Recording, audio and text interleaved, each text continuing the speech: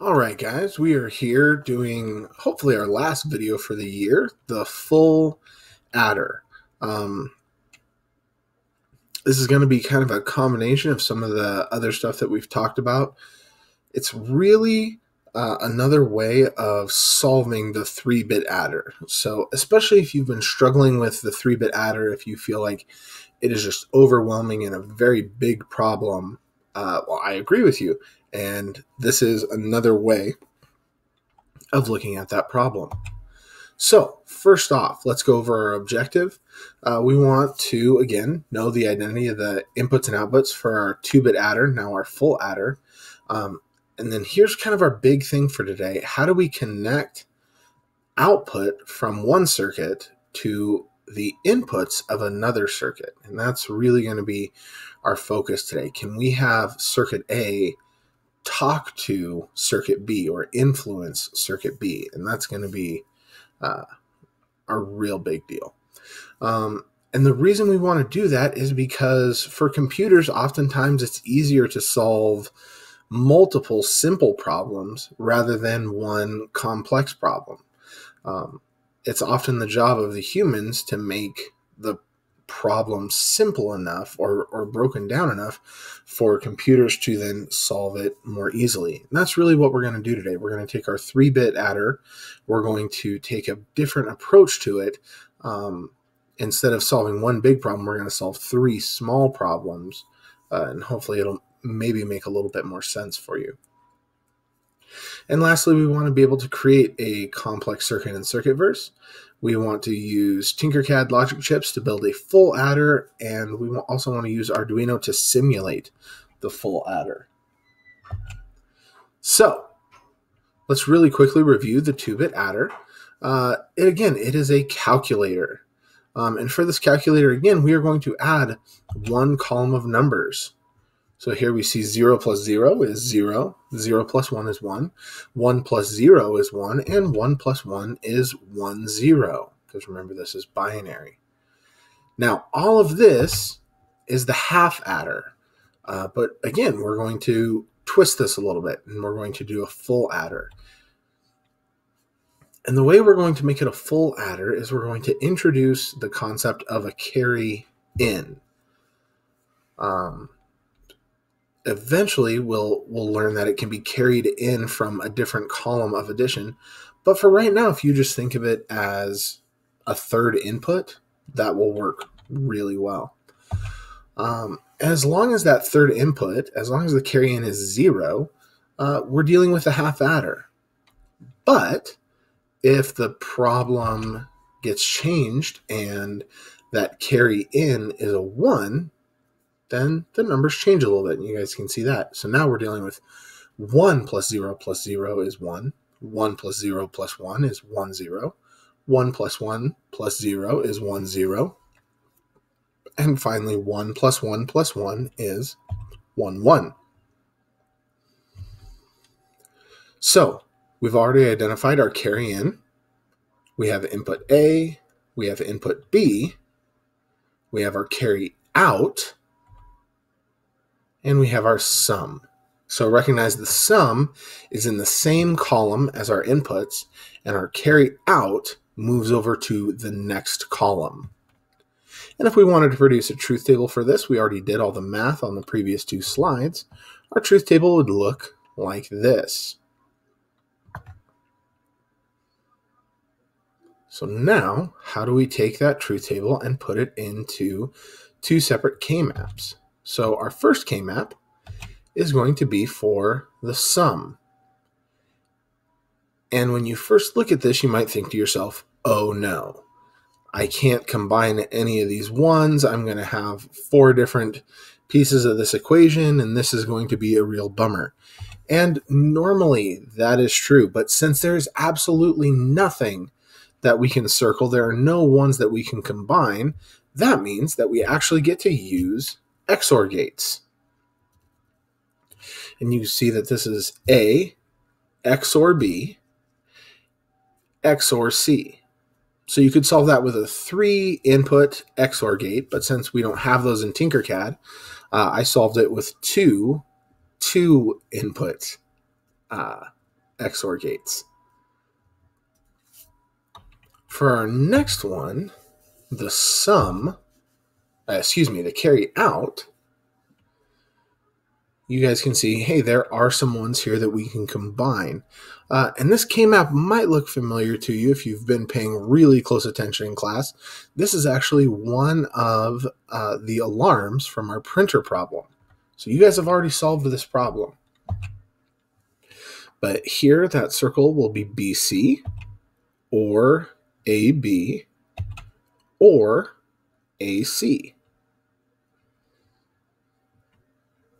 So if we produce that as a circuit in CircuitVerse, it would look a lot like uh, our top right here. We would have our three AND gates, we would have our two OR gates to combine them all together, and that totally works.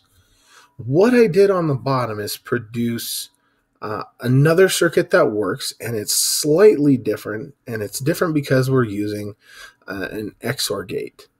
So you'll notice it's a little bit cleaner. We only have to use four gates instead of five gates.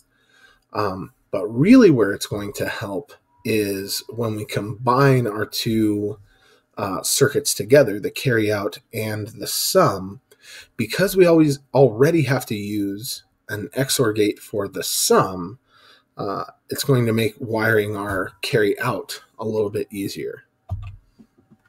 And here's what our full uh, adder would look like if you wired it together in CircuitVerse, where our two inputs are A and B, and C, again, you can think of it as a third input, or you can think about it as a carry.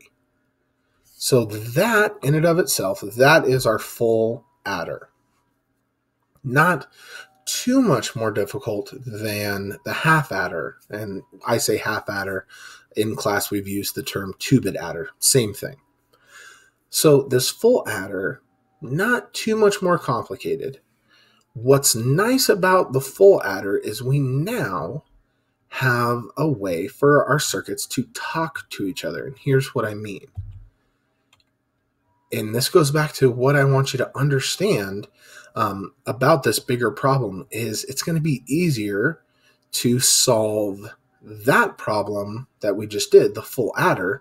If we solve that twice, it's the exact same as solving the three bit adder problem. Uh, but for me, I think it's going to be a lot easier. So here is our three bit adder problem.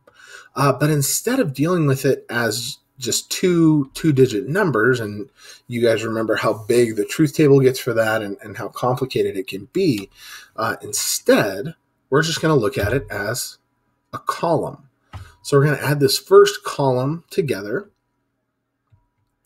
and if it was 0 plus 0 it'll be 0 if it's 0 plus 1 it's 1 if it's 1 plus 0 it's 1 but that very last one can be a trick if it's 1 plus 1 it would be the sum would be zero and the carry would be one. And that's what we have to that's what we have to figure out next. Is there going to be a carry in for the second column? And the carry in for the second column is equal to the carry out for the first column. So if this is our first circuit, we don't actually have an LED for the carry out. It instead gets connected to that next circuit. And that is tricky. And if I have questions from you guys, it'll probably be right there um, because it's just different, it's new. Um, but the circuit on the left is now talking to the circuit on the right. Uh, so instead of having that carry out on the circuit on the left, we just continue it on and we plug it in where the carry in should be for the second circuit. So that's what it would look like if you were wiring two full adders. Um, and that can be another project for later, and that can be really fun because then you can start connecting uh, your two full adders that you've built to another uh, classmates two full adders that they've built and then you have a four uh, four columns of addition and you can just keep going and keep going for this project uh, we just want to solve the the problem on the left. So because of that, we know that the first column of addition, the carry in, will always be zero. So since that's always zero, we can eliminate this AND gate because we know that there's going to be a zero coming into it. Um, and so back from our Boolean simplification, if we have A or zero, excuse me, A and zero, um, it's equal to zero. We can also eliminate that XOR because we know that zero is coming into that. And we can eliminate that OR gate because we know if zero, if A or zero, uh, that'll be equal to A. So after cleaning all that up and then connecting our circuits together, here is our final circuit. Uh, and I took the time with this one to actually label uh, all of the inputs and outputs to look exactly like the problem on the left. So you guys can see we have that first column of addition, that B plus E, and that gives us our first sum. Um, but it also, right here, Instead of coming to an LED, this runs in and talks to this second circuit. And you can see it gets connected here and it also gets connected up here. So that produces our second sum and our final carry out. So we have Z, which is the sum of the first column, we have y, which is the sum of the second column, and we have x, which is the carry out of the second column. And you'll notice that if we wire it like this, we need three XOR gates, we need three AND gates, and we need one OR gate. That means you can complete your entire build using only three chips, uh, which is going to be much simpler than the 3-bit adder that we have been working on. So, good luck. I assume that you'll have questions, so please ask me. Uh, please review this uh, video multiple times. Go back and uh, re listen to it uh, at least twice, because I think once you see where we're headed, uh, the introduction might make a little more sense to you. Uh, but overall, here is the build in circuit verse, and good luck.